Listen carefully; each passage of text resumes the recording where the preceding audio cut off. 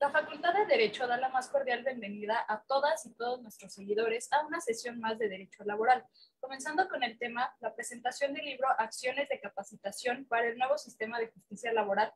Los dejo en voz de la maestra Marisol Guaso Ortega. Hola, muy buenas tardes a todas las personas que nos están transmitiendo a través de Facebook Live. Como bien nos han presentado en esta programación, presentación del libro, el día de hoy estaremos hablando de una obra muy importante para todos los conocedores del derecho del trabajo y me parecería también importante mencionar que es eh, destacado el tema para personas en general. Se denomina esta obra Acciones de Capacitación para el Nuevo Sistema de Justicia Laboral, el cual es coordinado por el magistrado Sergio Javier Molina Martínez, quien, bueno, afortunadamente es el coordinador de la obra y es quien hoy nos acompaña para poder presentar esta obra literaria jurídica que, eh, pues, bueno, quienes nos están escuchando están interesados para eh, conocer un poco de su contenido, sus intenciones, los alcances y eh, pues bueno, ya nos estará diciendo también el magistrado Sergio Javier lo que podemos encontrar en esta su obra. Por tanto, eh, maestro, magistrado, le doy la más cordial bienvenida a este su programa, presentación del libro del Colegio de Profesores de Derecho del Trabajo.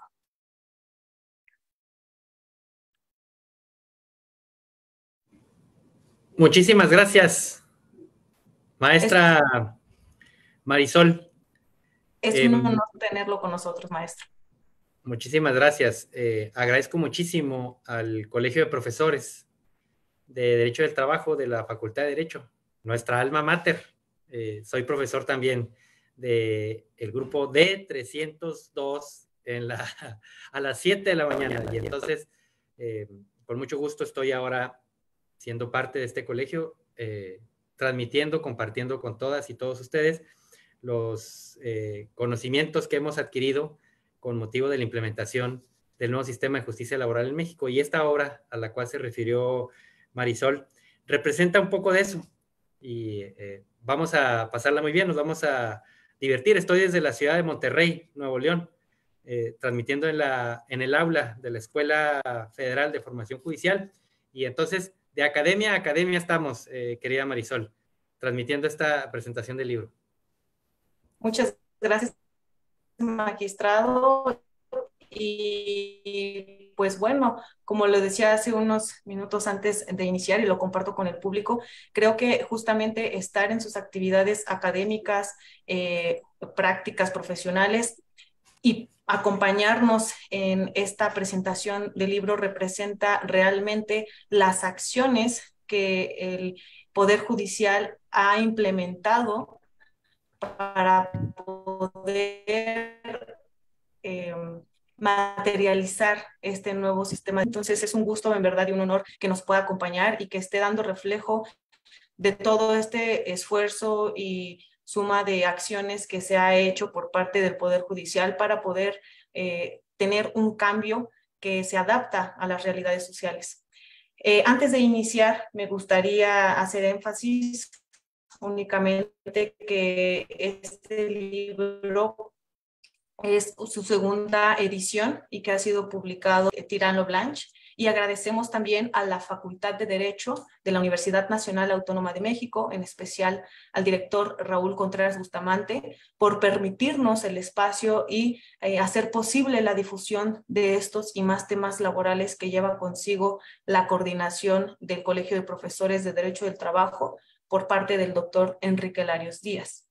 También aprovecho estos segundos para poder eh, agradecer y dar la bienvenida al mismo tiempo a la doctora Sonia Venegas Álvarez, secretaria general de la Facultad de Derecho, así como a la doctora Sara Arellano Palafox, eh, secretaria académica en nombre del doctor Enrique Larios, por también colaborar y permitirnos eh, mantener la difusión de los temas de derecho del trabajo.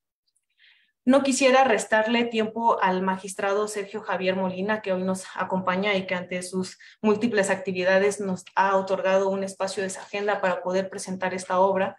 Así que eh, de forma breve me voy a atrever a presentarlo a la audiencia para que puedan eh, conocer más de su persona y que al mismo tiempo eh, conozcan las intenciones entonces de esta obra que hoy le estamos presentando al público.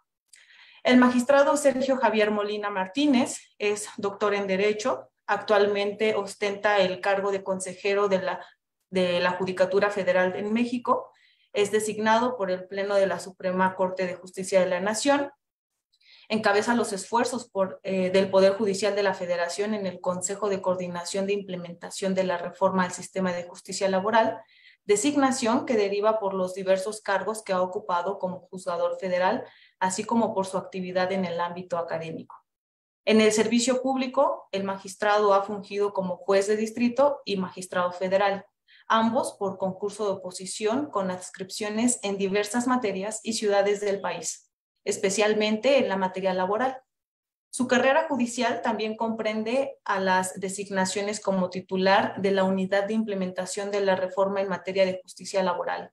Y finalmente puedo decir que ha sido distinguido por la Suprema Corte de Justicia de la Nación y la Asociación Mexicana de Impartidores de Justicia por su actividad como juzgador federal que eh, salvaguarda los derechos humanos.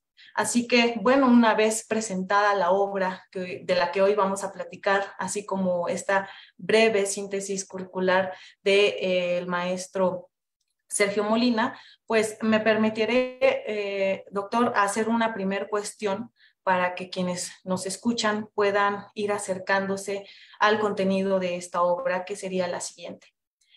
¿En qué momento comienza a considerar usted la integración de esta obra? es decir, eh, qué estaba aconteciendo eh, en el ámbito social, en el ámbito económico, podríamos todavía abarcarlo en el ámbito político. ¿Qué momento estaba viviendo México para que pudiera usted tener esta visión y crear una obra jurídica, maestro?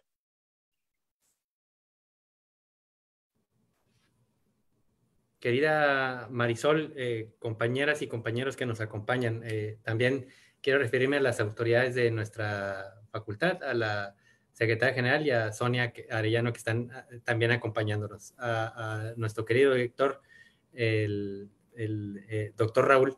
Muchísimas gracias por la oportunidad que nos ha dado para presentar este libro. ¿Qué acontecía cuando decidimos hacer la obra? Un tránsito entre la reforma constitucional y la reforma legal. Para quien nos escucha, eh, seguramente conocedores de la materia y no conocedores de la materia, diremos que en el 2017 se dio una importante reforma al artículo 123 constitucional, apartado A, en dos grandes derechos.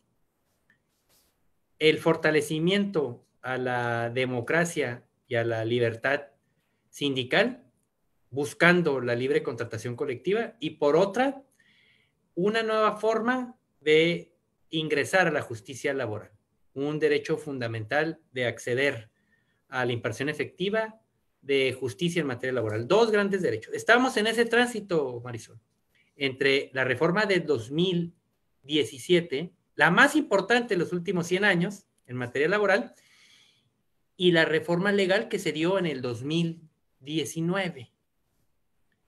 ¿Qué acontecía? Un gran bullicio en torno a la factibilidad de la reforma. Las jóvenes y los jóvenes que nos acompañan sabrán que había mucha incredulidad en cómo se iba a materializar la reforma. Y para tal efecto decidimos escribir esta obra, preguntándonos, Marisol, ¿qué tendríamos que conocer, en primer término, para luego transmitir a los futuros operadores? Como todos sabrán, este nuevo modelo implicó crear tribunales, crear órganos jurisdiccionales, crear entidades que no existían y que nunca habían tenido contacto con esta materia. Entonces tuvimos que pensar cómo asimilar el conocimiento de estos dos derechos fundamentales de la reforma de 17 y cómo aterrizarlos o materializarlos en la secundaria, porque una cosa es el derecho fundamental y otra son las reglas operativas. Entonces acontecía un gran bullicio, porque había una incredulidad. Y entonces de manera ordenada y segmentada, como el conocimiento es en las universidades, decidimos establecer o crear memorias de cómo concebimos, eh, querida Marisol, esta reforma. De eso se trata. Parece muy interesante, magistrado, porque, eh, bueno, podríamos decir que no es la primera y única reforma que hemos tenido en el derecho del trabajo en México, en este caso referentes al apartado A del artículo 123 constitucional. Ya han existido reformas que podríamos considerar trascendentes, en su momento en 1980 en ámbitos procesales, en el 2012 en cuestiones de modalidades de contratación, pero algo muy importante que usted ha mencionado es que eh, esta reforma dedica su tiempo y espacio a los, al Poder Judicial, ¿no? a crear nuevos tribunales laborales. Y es que para quienes nos escuchan habría que eh, recordarles y hacerles ver a aquellos que estamos entrando a este mundo que el derecho del trabajo pues eh, tenía una aplicación eh, que pues podría comprenderse como judicial en sus resultados, pero que administrativamente hablando no dependía como tal de ella, sino del poder ejecutivo. Y pues a lo mejor este cambio de las reformas a las que usted ya nos ha hecho alusión, son eh, la gran importancia de este nuevo sistema de justicia laboral y que la integración de su libro pues abarca en su totalidad. Eh, pues bueno, continuando entonces con estas cuestiones, magistrado, eh, me gustaría preguntarle, una vez observado la intención de su libro, ¿a quiénes podríamos decir que ha dedicado esta obra? Lo dedicamos, querida Marisol, a el público en general. Primero que nada va destinado a el común de la gente, que la generalidad pueda advertir en qué consiste este cambio. Esta obra se compone de varios ensayos. En ellos se relata cómo desde las distintas esferas del Poder Judicial se conoció, se comprendió la reforma y la manera en que cada uno intervenimos en su materialización. Es importante, además que sepa eh, el público presente, Marisol, que esta segunda edición está prologada por nuestro queridísimo director de la facultad. Tuvimos el gran honor, este libro se presentó en la FIL de Guadalajara el año pasado y el doctor Raúl eh, eh, hizo el, prólogo de esta segunda edición magníficamente eh, elaborado, como todo lo que hace nuestro querido director. Él se pregunta cuáles son los derroteros que sigue una vez implementada la reforma. Se dirige entonces, en términos generales, como dice eh, nuestro querido director, a no conocedores, a no expertos, pero también a los expertos al público en general para que comprenda estos dos cambios a los cuales nos aludimos, es decir, la profunda transformación en el sindicalismo en México y la manera en que ahora se resuelven los casos. Pero para los conocedores, entonces les dijimos cómo o la manera en que desde el Poder Judicial de la Federación, los que contribuimos a este cambio, encontramos las acciones la materialización, los pasos que seguimos para poder transformar. Es ese tránsito entre lo que la norma dice y lo que las acciones ordenan hacer. Por eso es que se dirige primero en una concepción muy genérica al público en general y muy específica para que los estudiosos como tú, Marisol, y quienes nos acompañan, puedan saber por qué se tomó tal o cual decisión. Un claro ejemplo. Los concursos de oposición para integrar estos nuevos órganos a los que se aludió Marisol, estos que sustituyen, cambian o eh, dejan de lado a las juntas denominadas ahora tribunales laborales, tendríamos que entender cómo tendrían que ser los concursos, por ejemplo. Y dijimos, los concursos tendrían que ser libres, que cualquier persona que tuviera ciertas eh, capacidades o competencias, la Constitución dice capacidad y experiencia, pudieran ingresar. Y entonces aquí en las distintas lecturas, eh, los distintos ensayos podrán encontrar ya muy específico cómo es que se crearon, se idearon estos concursos libres de oposición, Marisol, los que eh, pudieron ingresar con éxito. Nosotros tenemos más o menos, Marisol, unos 2.000 funcionarios en nuestros 102 eh, tribunales laborales. Imagínense, eh, compañeras y compañeros que nos siguen, cómo tuvimos que idear para encontrar a las 2.000 mejores personas de este país para que integren nuestros tribunales laborales. De eso se trata. Entonces, genérico, para entender la reforma rápidamente, y específico, acciones. Una es este ejemplo y te puedo, eh, en el transcurso de la plática, ir platicando de más acciones, Marisol, con gusto. Sí, justamente eh, hacia allá iba mi segunda, eh, bueno, mi siguiente pregunta, magistrado. Eh, estas acciones que ustedes han considerado, considerado para poder llevar a cabo una transformación plena al cumplimiento de este nuevo sistema de justicia laboral, ¿cuáles podrían ser entonces los principales retos que se presentan al Poder Judicial de la Federación para poder, digamos, materializar el nuevo ejercicio e implementación de los nuevos servidores públicos. Sí, Marisol, eh, un poco me adelanté a la, pregunta, pero complementa esta, este nuevo interrogante lo que veníamos diciendo. La capacitación, Marisol, compañeras, compañeros, era solo uno de los retos, porque otro de los retos que implicó la reforma es la infraestructura, es decir, cómo tendríamos que crear estos nuevos tribunales. Otro es la normativa, es decir, qué leyes tendrían que cambiarse, qué instrumentos normativos tendrían que adecuarse para dar cabida a esta ley. ¿Cómo tendríamos que encontrar nuevos peritos, Marisol? ¿Cómo tendríamos que encontrar defensores públicos?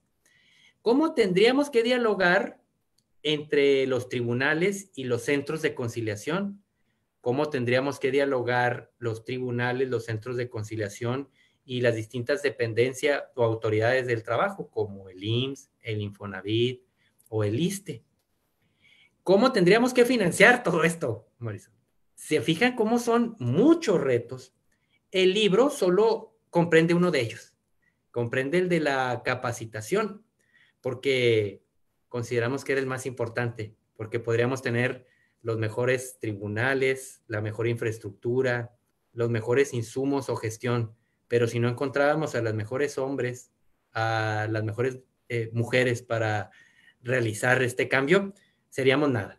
Y es por eso que este libro se centra de todos esos retos en el que consideramos más importante que es el factor humano, que es encontrar a estos 2.000 operadores que actualmente están eh, trabajando, Marisol. De ese, esos eran los retos y de ese, uno de ellos, muy chiquitito, es el de la capacitación, pero por chiquitito no deja de ser el más importante.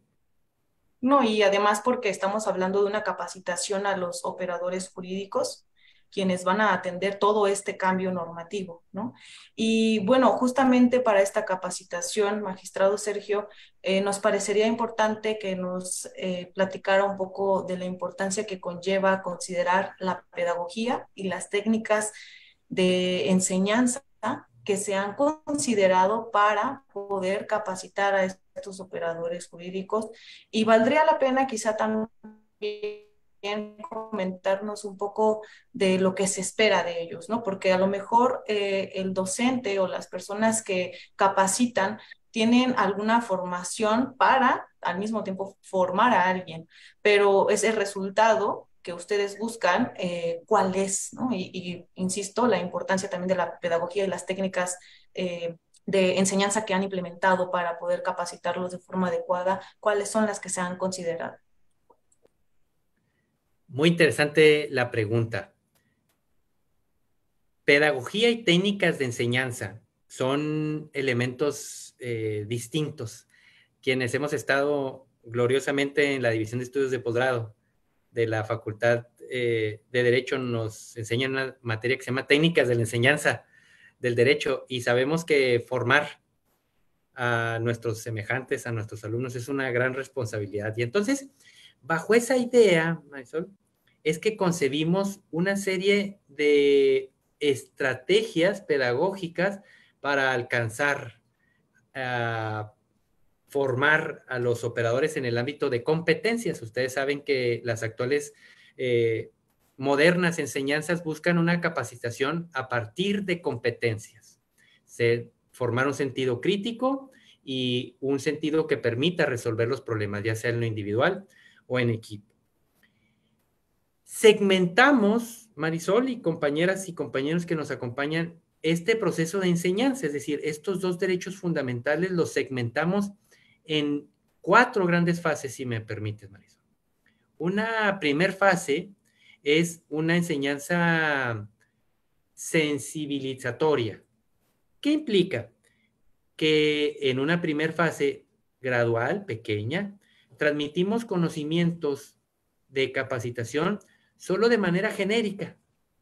Es decir, preguntándonos qué problemas teníamos y qué nos dimos. Muy sencillo. Un segundo grado, una segunda gradación es la actualización normativa. Es decir, comprender los derechos fundamentales y luego cómo se desdoblaron en la ley.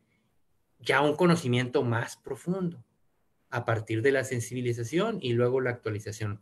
Y luego diseñamos un tercer ámbito.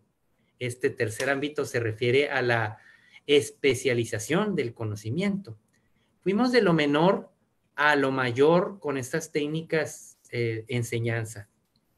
Y finalmente, el cuarto nivel que decidimos establecer fue el proceso de selección de las juezas y los jueces. Ya una vez que hubiesen pasado segmentativamente por todas estas etapas, logramos encontrar a 135 juezas y jueces para desarrollar esta actividad y estos 2.000 operadores.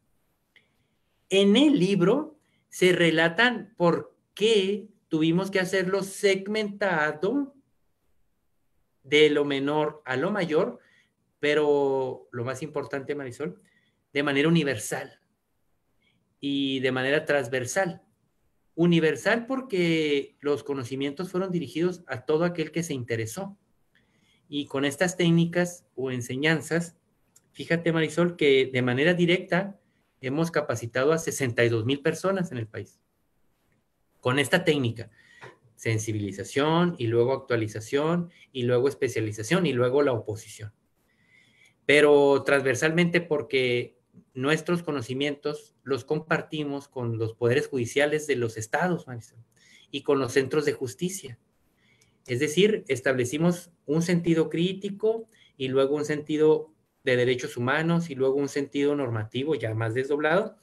Lo desarrollamos pedagógicamente con ejercicios con videos, con talleres, con dinámicas, con exposiciones, todas interactivas. Y ese mismo material, Marisol, lo dimos de manera directa a 62 mil personas, pero de manera indirecta a no sé cuántas más a través de los poderes judiciales. Todas esas acciones se relatan en este libro, de ahí la importancia que en mi consideración amerita esta obra que va en su segunda edición, pero además compartirlo con mis compañeros profesores el colegio, es significativo porque ellos podrán seguramente perfeccionar lo que ahí se dice, porque en la UNAM, eh, salvo quien ahora habla, hay gente brillante y seguramente superará el contenido del libro, pero ahí encontrarán cuál fue el sentir, cuál fue el reto y por qué se diseñó este segmento del proceso de enseñanza-aprendizaje, Marisol. Y ahí lo encontrarán en los distintos ensayos. Me parece muy interesante, magistrado Sergio, eh, que hayan considerado estos eh, segmentos, como lo ha dicho usted, para poder formar a los nuevos operadores jurídicos, eh, porque justamente se adaptan, me parece, desde el primer punto, desde el punto de la sensibilización a el nuevo contenido del sistema de justicia laboral, hablando específicamente a la consideración pues, de derechos humanos y de disciplinas que no necesariamente son jurídicas, ¿no? Como la pedagogía, entonces, perdón, la, psicología. Entonces, eh, pues son personas que deben conocer más allá de lo que es una norma, eh, el sentido de la norma, eh, el motivo de la norma, en que cuando un legislador crea eh, un ordenamiento jurídico debe de llevar consigo un conjunto de niveles de raciocinio y entre ellas está pues el que estudie o conozca los contextos de diferentes sectores de la sociedad a la, que, a la cual está destinando la norma y que no nada más son económicas, eh, culturales para poder crear a la misma, ¿no? Y si hoy vemos la norma laboral, pues no es una norma, no lo ha sido desde eh, su primer ley federal del trabajo, pero vemos que no es una norma eh, estricta, ¿no? que es un tanto flexible conforme los factores de la producción y que hoy ya se puede reflejar que no nada más contiene derecho del trabajo o derecho como tal, sino también considera otros aspectos, aspectos sociales, derecho, dentro del derecho humano, aspectos eh, psicológicos al momento de destinar la formación de algunos servidores públicos como son los eh, conciliadores. Y pues justo por eso regreso con la idea, eh, creo que esta segmentación que han considerado para poder capacitar a, los servidores públicos de este sistema laboral jurídico ha sido pues eh, ideal, ¿no? Para poder adaptarnos a la norma. Voy a tomar unos segundos para hacerle saber, magistrado Sergio, que tiene una audiencia pues muy destacada y que lo está saludando con gusto y felicitando, entre ellos la doctora Catalina Zavala, también eh, integrante de este Colegio de Profesores de Derecho del Trabajo. Nos dice muy buenas tardes, saludos al magistrado Héctor Molina, eh, perdón, Sergio Molina, eh, hoy tuvimos un error. también nos saluda Diego Tapia, saludos desde la UNAM. Jesús Alberto Navarro nos dice excelente ponente. Luz Elba Velo nos dice saludos, consejero, desde la ciudad de Juárez. Felicidades. Beatriz Caballeros, saludos, linda tarde. Monse Campos, viva. El mejor profesor de la UNAM, el consejero Sergio Javier. Eh, Magdalena Cisneros, también ella nos pregunta cuál es el nombre del ponente y el libro. ¿no? Bueno, nombre de ponente, ha sido reiterativo. Eh, lo invitamos a que vuelva a sintonizar la sesión para que conozca sus líneas eh, de eh, expertices y académicas. El libro que estamos presentando es Acciones de capacitación para el nuevo sistema de justicia laboral, segunda edición, publicado en el 2023, editorial Tirando Blanche, y pues eh, el coordinador es el magistrado Sergio Javier Molina Martínez, quien hoy nos acompaña. Y Dan Soek nos dice, hola profesora Marisol, saludos. Eh, Luz Sánchez también nos expresa algunos eh, emojis para felicitarlo y decir que es una excelente ponencia, magistrado. Y Alex Rivera nos dice, un placer escuchar al señor consejero. Atentamente, Alejandra Rivera. Entonces, vamos a continuar con esta serie de preguntas sin antes darle el uso de la voz, magistrado, para eh, regresar o dar una réplica a estos saludos. Muchísimas gracias. me embarga eh, la, emoción y la alegría de eh, saber que la doctora Catalina Zavala nos acompaña hoy y tantos alumnos y alumnas que de la profesora Marisol y de algunos otros compañeros y los míos especialmente están viendo este programa. Ellos eh, están formados, fíjate, Marisol, compañeras, profesoras y profesores, bajo este sentido crítico no por el hecho de que su profesor sostenga o afirme determinada postura o posición, eh, ellos lo deben de dar por sentado. Precisamente de esto se trata el proceso de enseñanza-aprendizaje basado en competencias, en fomentar en el alumno, en la alumna, el espíritu crítico y que por sí y a través de su propio esfuerzo adquiera el conocimiento y no por el que transmite a su profesor. Entonces estoy muy contento, Marisol, de estar hoy en esta transmisión eh, estar charlando con una mente brillante como lo eres tú y como son todas y todos quienes hoy nos acompañan. Al contrario, magistrado Sergio, gracias a usted por permitirnos la lectura de sus comentarios y replicarlos. Pues continuando con la entrevista, eh, magistrado, eh, la siguiente pregunta que me gustaría nos comparta a la audiencia y a mí, sería, sería qué personas aportan memorias en este libro acerca del nuevo sistema de justicia laboral. Mientras usted charla, me voy a permitir eh, compartir pantalla para que también puedan visualizarlo las personas que nos acompañan. Eh, se trata justamente de la compilación de los autores que vienen en su obra y más adelante, como usted ya eh, nos ha hecho referencia, observamos también que para esta segunda edición, el doctor Raúl Contreras Bustamante, director de nuestra institución educativa, logra emitir las palabras de estación. La pregunta, maestro, para que podamos platicar de ello con la pantalla compartida para quienes nos están escuchando puedan también eh, observar el contenido y mostrar eh, o rescatar interés para la lectura del mismo es que personas aportan memorias en este libro acerca del sistema de justicia laboral. Eh, este libro fue pensado, como decía al inicio, para que los distintos actores que intervenimos desde el Poder Judicial de la Federación eh, estableciéramos cuáles eran nuestros referentes para este proceso de enseñanza-aprendizaje. En primer término, como ya se dijo ahora, lo eh, prologó para esta segunda edición nuestro queridísimo director Raúl Contreras. Eh, el, eh, ministro Fernando Franco González Salas, originalmente en su momento como ministro, estableció cómo él concibió la reforma y cómo, como desde la Suprema Corte pretendió que a su vez se establecieran eh, en los órganos jurisdiccionales este nuevo cambio.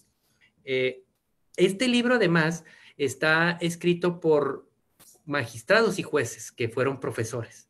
Es decir, eh, en este ejercicio de entendimiento de la reforma pasó algo mm, digno de resaltar, que incluso está establecido en el libro. Primero tuvimos que concebir la reforma fue un grupo eh, de alrededor de 20 jueces y magistrados los que nos reunimos para comprender este contenido de la reforma. Y luego estos profesores o estos jueces después se convirtieron en capacitadores y fueron a los estados. Estuvimos en 67 distintas ciudades llevando este cambio, esta idea. Y algunos de ellos, algunos autores de ellos, escribieron sus memorias. Y así tenemos magistrados y jueces que fueron tan lejanos como a Chetumal o tan cercano a la Ciudad de México como a Morelos, pero también tuvimos quien fue a Guaprieta o a la región de Ciudad Juárez o a Tamaulipas o a Veracruz o a Acapulco. En ellos se relata. En lo particular, yo plasmé la manera en que asumí como titular de la unidad, lo leíste, es decir, como alguien que iba a implementar la reforma es cómo asumí el compromiso y luego cómo lo desarrollamos en los distintos estados, porque también fui capacitador. En mi caso me correspondió ir a Culiacán, Sinaloa, a platicar con la gente de Sinaloa estos cambios. Y también fui a Cancún y también fui a Guanajuato, tres distintas ciudades, y están relatadas ahí porque era muy interesante, Marisol, cuando eh, ahora podemos comprender que la reforma es toda una realidad, pero en ese momento no había nada. Y entonces llegar a convencer y decir, esto va a transformar radicalmente el modelo laboral en México, no era fácil de transmitir, Marisol. Entonces teníamos que tener muchas agallas, muchas técnicas de enseñanza para que la gente pudiera comprender de mejor forma este cambio. Y todo eso se narra aquí, Marisol, y lo narran otros compañeros y otras compañeras. También hay eh, académicos que nos acompañaron y desde luego mis colaboradoras y colaboradores, porque también a ellos les tocó eh, distintas ciudades. Entonces el libro es muy variado, muy rico, muy enriquecedor y permitirá a los profesores y profesoras de este colegio encontrar algunas herramientas para que puedan de mejor forma transmitir lo que ahora es una realidad con las alumnas y nuestros queridísimos alumnos de la Facultad de Derecho, Marisol. Es decir, magistrado, que pues podemos encontrar, eh, como lo ha mencionado, las experiencias de quienes fueron capacitados y quienes han capacitado y quienes continúan su viaje en, esa implementación en la reforma ya realidad el día de hoy, ¿no? Eh, pero para esto, magistrado, estas personas que han sido preparadas y destinadas para poder llevar a cabo la capacitación dentro de toda la República Mexicana, ¿cuáles podría decirnos usted o compartirnos han sido las actividades académicas eh, pues primordiales o no académicas, sino prácticas forenses que han implementado para poder capacitar y ser capacitados? Es importantísima tu pregunta, porque el modelo ya en los tribunales, Marisol, exige nuevas competencias y eso quiero dejarlo muy en claro a mis compañeros profesores. Es decir, no podemos seguir formando alumnos bajo el método tradicional de maestro eh, clase, de maestro expositor, sino que los alumnos deben por sí adquirir conocimiento. Pero no solo el conocimiento duro de la norma, sino las habilidades para ahora transmitirlo a los jueces de manera oral. Esa es una primer competencia que tenemos que formar a nuestros alumnos. El derecho ahora en el proceso del trabajo exige la oralidad en la exposición, pero no cualquier oralidad como sucedía antes. La oralidad antes se hacía sin la inmediación, sin la presencia de los jueces. Ahora la oralidad tiene que estar acompañada de la presencia de los jueces y tenemos que formar, capacitar a nuestros alumnos y a nuestros alumnos en esta precisa competencia. Esto es algo no menor, porque si antes los formamos para la oralidad, pero el dictado lo tomaba un funcionario menor, que ni siquiera era el secretario, por cierto, de las juntas, sino un escribiente, no estaba acompañado de ese valor que ahora mantienen. Ahora sus diálogos están frente a la juez y el juez, en audiencia videograbada. Y esto exige ciertas competencias. La segunda, Marisol, competencia que exige a los alumnos es desatender la cultura del litigio. Nuestras alumnas y nuestros alumnos no pueden estar formados para el litigio en el punto de vista laboral y en otras materias, pero me referiré a la laboral. Nuestras alumnas y nuestros alumnos tienen que estar formados en los métodos alternativos de solución de controversias, vinculadas a la conciliación prejudicial, pero también a la conciliación dentro del juicio, de tal suerte que ahora tendremos que formar a nuestras alumnas, a nuestros alumnos, bajo una idea de desaprender el litigio, este que se fomenta en otras clases, porque nuestra materia prevalece, en nuestra materia prevalece procesalmente el principio de conciliación o la idea de conciliar, porque la conciliación lleva a la paz de las sociedades y encontrar en la conciliación prejudicial una manera distinta de resolver los casos exige ciertas y nuevas competencias, Marisol. Eso es lo que también se relata en el libro y que seguramente eh, las alumnas y los alumnos, los profesores y los profesores encontrarán como un referente, como un asidero para las clases que magistralmente imparten en nuestra facultad. Maestro, y para quienes eh, logramos eh, acercarnos un poco a, estos, a estas actividades que se realizaron para la capacitación de los operadores jurídicos, y aunque también existen personas que no tuvieron esta oportunidad.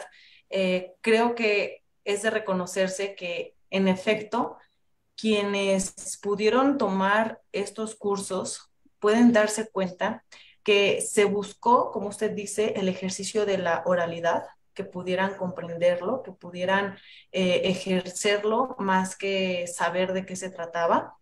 Y algo muy importante que sé que ahorita no se mencionó como tal, pero que usted es claro ejemplo de quienes lo estuvieron fomentando, es que todos estos cursos, diplomados, seminarios, incluso especializaciones que se empezaron a aperturar para eh, eh, mostrar y enseñar el nuevo sistema de justicia laboral, tuvo mucho fomento de lo que es el ejercicio del código de ética. Yo en algún momento, eh, afortunadamente, pude tomar algunos cursos y usted dirigía algunos de ellos y recuerdo muy bien cómo hacía hincapié y todavía lo siguen haciendo del respeto y ejercicio de los eh, valores que todos son comprendidos en un código de ética que no debemos de desconocer en el ámbito judicial, ¿no?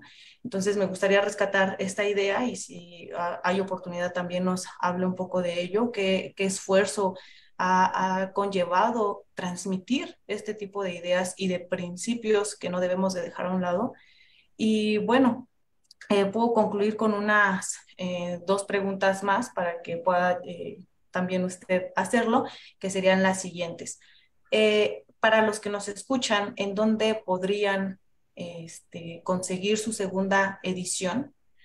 Y sabemos que hay personas que compramos también la primera edición. ¿Cuál es la diferencia entre estas dos? ¿Cuál radicaría para, eh, pues, también nosotros tomar una mejor decisión?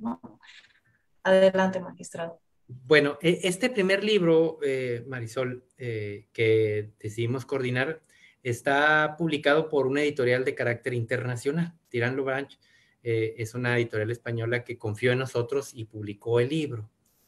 Tirando Blanche, en este caso, utiliza dos plataformas, la física que tengo aquí a mi lado, pero también la virtual. Entonces, las compañeras y los compañeros que ahora ya leen en su iPad todos los días, pues podrán encontrar la versión digital. Y quienes románticamente, como está aquí atrás de mí, todavía abrimos los libros, pues encontrará eh, físicamente. Entonces, entiendo que este está a disposición en la página de la editorial.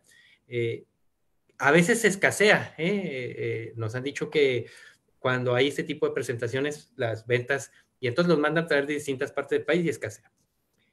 ¿Qué diferencia además hay entre la primera y segunda? Fíjate que es una importante pregunta. En la segunda, bueno, ya dijimos, está nuestro queridísimo doctor Raúl eh, comentando, pero fuimos más allá. Ya no nos quedamos con el proceso de enseñanza-aprendizaje y las acciones que hicimos, las memorias desde el Poder Judicial. Quisimos, Marisol, compartir con los estados sus vivencias.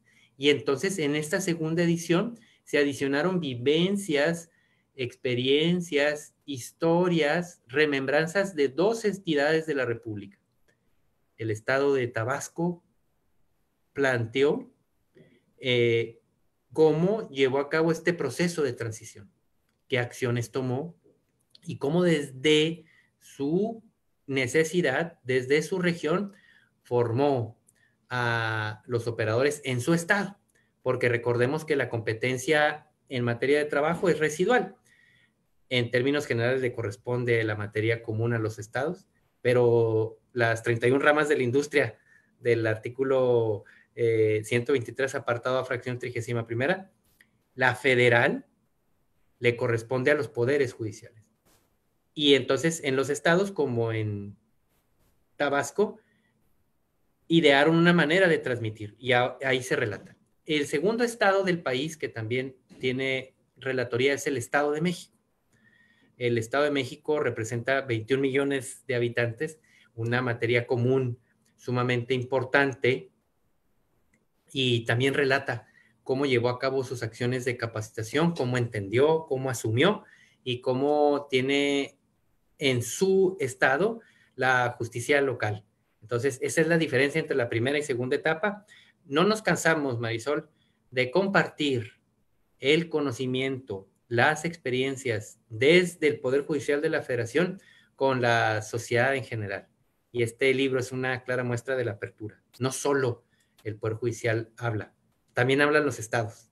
Habla el Estado de México y habla el Estado de Tabasco. Esa es la diferencia, Marisol. Gracias, maestro. Y bueno, nada más un último punto que sí me gustaría rescatar, digo por la importancia que comentaba hace rato, el aspecto de ejercer dentro de las actividades que se han eh, fomentado para la capacitación de los operadores jurídicos ante el nuevo sistema de justicia laboral, eh, el código de ética. ¿Qué importancia tiene y qué tan, digamos, mm, pesado, tan, tan difícil fue fomentar estos, a estos valores. Sí, es importantísima tu pregunta. ¿Por qué hicimos mucho énfasis en la ética? se los digo a mis alumnos y lo compartiremos, Marisol. La materia laboral era la materia procesal y sustantiva más menospreciada de todas. Llegó a tal descrédito que pocos se interesaron en las últimas fechas por el conocimiento de esta materia. Estaba su ejercicio vinculado, por decirlo eh, elegantemente, con terceristas, con personas que no se comprometían al ejercicio correcto de la profesión en las juntas. Y entonces teníamos intermediarios que se dedicaban a lucrar con los despidos injustificados, con las pensiones, por una parte a, los trabajadores, pero por otra en la extorsión, con juicios simulados falsos a la micro y pequeña empresa. Había una gran simulación en el ámbito laboral y los órganos de impartición de justicia hacían lo que podían, porque no había un fondo, un financiamiento, una importancia a esta materia. Y entonces había una gran distorsión, mucho de ellos originado por prácticas nocivas. Y el Poder Judicial, con la apertura que se necesitaba en estos casos, abrió sus puertas a los concursos libres y pudieron ingresar funcionarios y funcionarios de las juntas a ser jueces federales. El ejemplo por, eh, tenemos en Tijuana. La juez federal de Tijuana era funcionaria de la Junta en Mexicali. La funcionaria de Sonora ahora es juez en Veracruz. Tendríamos que entonces pasar por un tamiz ético de decir, las prácticas sucedidas en el anterior sistema no tienen cabida por ética y por reivindicación de la importancia de nuestra materia cuando ingresen a las filas del Poder Judicial. De ahí la importancia, Marisol, de estos factores éticos. Pero lo que es más, litigantes son jueces nuestros. Y son bienvenidos y fueron bienvenidos porque no solo demostraron esos conocimientos, sino porque seguramente sus valores éticos están prevaleciendo para dar un nuevo rostro a la impartición de justicia, Marisol. De ahí la importancia y el énfasis que hicimos en estos aspectos que tú has correctamente señalado. Muchísimas gracias, magistrado. Eh, no nada más yo muestro esta gratitud, también quienes nos han seguido en Facebook, entre ellos Lourdes Vargas, quien dice gracias por gran ponencia. Eh, Josué Arrioja Fuentes nos dice, saludos, soy profesor de FES Aragón, excelente ponente. Y así un, sinfín de personas que nos han transmitido, eh, agradecemos, magistrado, por tomarse el tiempo y el espacio para poder acompañarnos y presentar su obra, eh, la cual, insistimos, es una segunda edición denominada Acciones de Capacitación para el Nuevo Sistema de Justicia Laboral. No voy a eh, culminar este programa sin antes poder compartirle a la audiencia y a usted la siguiente constancia que emite el Colegio de Profesores de Derecho del Trabajo eh, al magistrado Sergio Javier Molina Martínez por su sobresaliente conferencia en la sesión de presentación del libro en su versión digital y que es firmada por el presidente del Colegio el doctor Enrique Larios el día de hoy, 4 de octubre de 2023, y que no dejamos eh, desapercibido ni pasar la frase de nuestra institución, por mi raza hablará el espíritu. Magistrado, un honor haber eh, tenido su compañía en este programa y la presentación de este libro tan importante para quienes eh, son amantes del derecho del trabajo, actualizados y conocedores del mismo. Quiero agradecer además particularmente, Marisol, a nuestro queridísimo eh, compañero, entrañable eh, eh, laboralista, Enrique Larios. con él tuve la oportunidad de dialogar incansablemente los nuevos procesos y ya una vez implementada con esta visión que lo caracteriza, esta clásica sonrisa, nos motivaba a un aliento más para no cesar en el esfuerzo del cambio. Eh, seguramente eh, tendrán noticia de estos saludos. Se los digo públicamente y se los digo en privado. Es una persona a quien admiro mucho y quien agradezco esta oportunidad y un reconocimiento firmado por él es más que grato para mi persona, Marisol. Así es que espero que no sea la última vez, Marisol, que hablemos de estos temas. Hay otros libros en puerta, solo los anuncio. Para la FIL de este año en Guadalajara vamos a presentar un libro que se llamará Cambio Social y Reforma Laboral en México. Lo vamos a presentar en la FIL, ya está en prensa y seguramente lo comentaremos aquí, Marisol. Y un segundo libro se va a llamar La otra reforma laboral en México, los mecanismos laborales de respuesta rápida. También ya está en prensa y seguramente, Marisol, cuando el eh, señor presidente Enrique Larios lo considere, aquí estaremos con tu importante público. Claro que sí, magistrado. Y pues bueno, el agradecimiento es por parte nuestra. Eh, gracias también a la audiencia que nos ha acompañado. Los vamos a dejar con el programa denominado Justicia y Paz Sociales, Derecho Internacional del Trabajo, el cual es conducido por la maestra Jazmín Rivera López, también integrante de este colegio, y que tiene para eh, ustedes un tema de suma importancia. Adelante, maestra. Marisol, muchísimas gracias. Muy buenas tardes. Magistrado, es un gusto verlo en estos espacios. Fue un gusto escucharlo en este programa.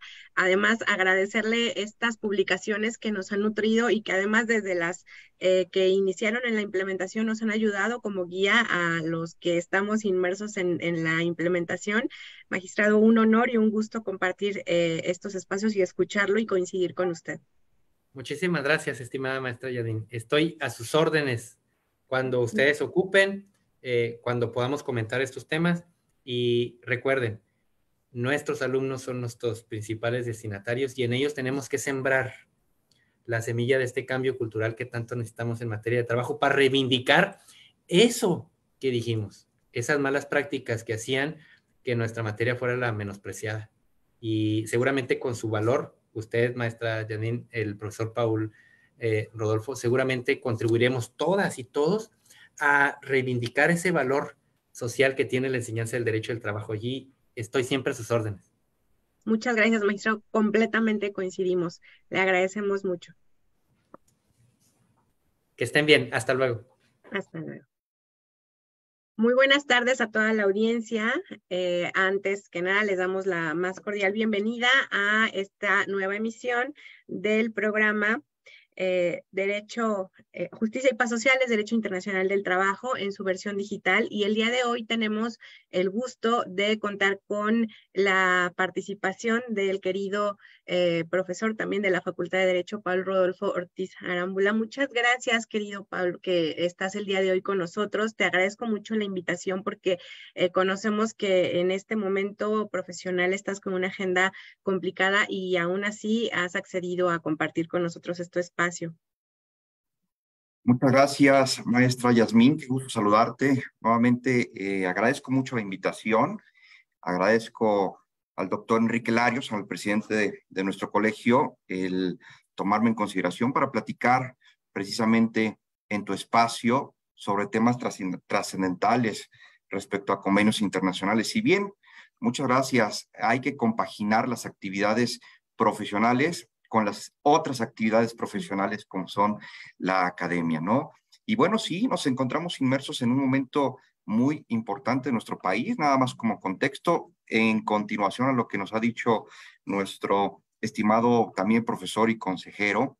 Eh, ayer inició, o más bien se cumplió el primer aniversario de la implementación a nivel nacional en todo en todo el país de la reforma laboral. Entonces, hay muchas actividades que están cerrando, eh, ciclos, procedimientos y apoyos para seguir la consolidación de la reforma laboral en nuestro país. Así que esto no ha terminado, nos encontramos en un proceso para llevar a cabo el fortalecimiento y también la consolidación.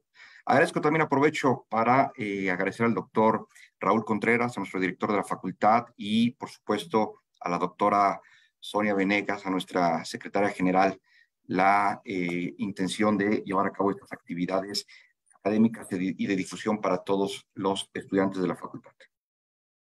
Muchas gracias. Eh, efectivamente, como, como lo refieres, estamos en días eh, de cumplir un año de reflexión de lo que ha implicado el cambio a la justicia laboral. Es un año que se ha pasado muy rápido con muchísimas circunstancias eh, y tú estás inmerso en ello y por ello voy a permitirme dar lectura a una breve semblanza curricular eh, que es necesaria para que la audiencia que seguramente te conoce, pero que nada más reflexione y recuerde el por qué la importancia de que el día de hoy estés con nosotros.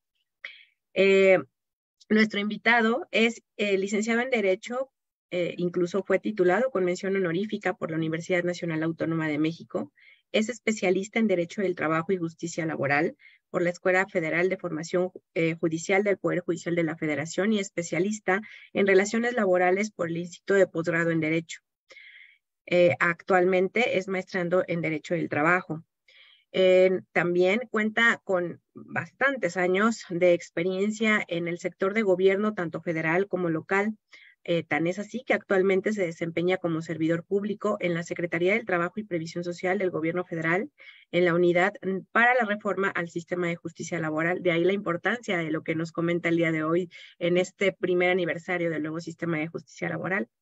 Además de ello, cuenta también con eh, diversos diplomados en materia de política laboral y derecho procesal constitucional, cursos sobre las reformas constitucionales y su impacto en los derechos humanos, normas internacionales de trabajo y amparo laboral, solamente por mencionar algunos temas. También es en el ámbito académico, mm, es también contamos con su valiosa aportación como profesor de asignatura en la Facultad de Derecho de esta Universidad Nacional Autónoma de México, particularmente de las asignaturas de Derecho Individual del Trabajo, títulos y operaciones de crédito, de amparo, Derecho Procesal del Trabajo y de Seguridad Social. En la División de Educación a Distancia de esta facultad ha impartido en el desarrollo eh, del contenido de las materias de Derecho Individual del Trabajo, Seguridad Social, Derecho Procesal del Trabajo y Derecho Burocrático, donde ha participado en el desarrollo de los planes de estudio y del contenido de este material. Eh, esto es solo por mencionar algunos de los aspectos relevantes, pero sobre todo es eh, un gran integrante del Colegio de Profesores de Derecho del Trabajo y nuevamente te agradezco que le estés con nosotros. El día de hoy vamos a platicar sobre el convenio 144 de la Organización Internacional del Trabajo, que hace referencia a la consulta tripartita. Eh, ahorita me, gustó mucho el comentario que nuestro querido invitado hizo eh, relativo a la reforma laboral. Sin embargo, eh, también este espacio está eh, reservado al derecho internacional del trabajo, pero no por ello se exime de su relación tan importante. Por el contrario, en esta reforma tiene mayor trascendencia el derecho internacional del trabajo, de ahí que este espacio es relevante. Y me parece ahorita en este momento que, vino la reflexión de nuestro profesor de, precisamente este año, cómo ha impactado también en el tripartismo, porque aparentemente el tripartismo lo hemos dejado de lado ahora con la reforma, pero pareciera nuestra consideración que no es así, porque no debe ser así, y tan importante es que lo tenemos respaldado en un convenio internacional de OIT, que es este, el 144. Eh, vamos a comenzar, si, si tú estás de acuerdo, con una breve, a lo mejor, análisis de lo que implica precisamente el tripartismo y este cambio en, este año de sistema de justicia laboral. ¿Cómo lo percibes tú? ¿Realmente el tripartismo hemos eh, tenido que eliminarlo por completo? Eh, ¿O para ti es importante que lo sigamos conservando desde los diferentes escenarios, a lo mejor ya no en la justicia cotidiana, pero sí en otros escenarios? ¿Qué, qué, eh, qué opinas sobre esto? Muchísimas gracias, Marisol. Pues mira, eh, yo sí he considerado que el tripartismo es esencial. Es un término que nos permite llevar a cabo cierto tipo de organización y procedimientos de concertación entre los sectores trabajador, patrón y el gobierno. Está más vivo que nunca porque además surge de una institución muy noble como es la Organización Internacional del Trabajo. La OIT, desde 1919, este, eh, desde el Tratado de Versalles que estableció su constitución, bueno, aplica un sistema de gobierno que se basa en el tripartismo. En la constitución de la propia Organización Internacional del Trabajo, tanto la Conferencia Internacional del Trabajo como el Consejo de Administración, pues también se integran por un número equivalente de representantes de los gobiernos, de los empleadores y de los trabajadores. Yo considero que el tripartismo es el principio básico de organización de las relaciones laborales que trata de impulsar la Organización Internacional del Trabajo. Y además, con independencia de la forma como se organiza, es un método de solución pacífica de controversias en los conflictos sociales. Entonces, el tripartismo no solamente lo podemos ver como un mecanismo de negociación, también lo podemos ver como un mecanismo de consulta, como un mecanismo de intercambio de información. Entonces, el tripartismo, desde el punto de vista de la solución de controversias, en nuestro país, claro, ha dejado de aplicarse con la reforma de 2017 eh, a la Constitución Política, el 123, apartado A, fracción 20. Y después con la ley secundaria, bueno, se crean los tribunales laborales dependientes del Poder Judicial de la Federación, de las entidades federativas, el órgano conciliador como instancia prejudicial, pero hoy el tripartismo es un, es un mecanismo, es una institución que permite participar en lo que llamamos el diálogo social. Entonces el diálogo social lo tenemos que ver como un elemento sustancial también en las relaciones laborales. Es un elemento dinámico, ¿sí? Porque permite precisamente la comunicación fluida entre gobierno, entre empleadores y entre trabajadores. Pueden ser estos organizaciones sindicales. Entonces, creo que el tripartismo es un mecanismo de diálogo y de cooperación que se encuentra más vigente que nunca.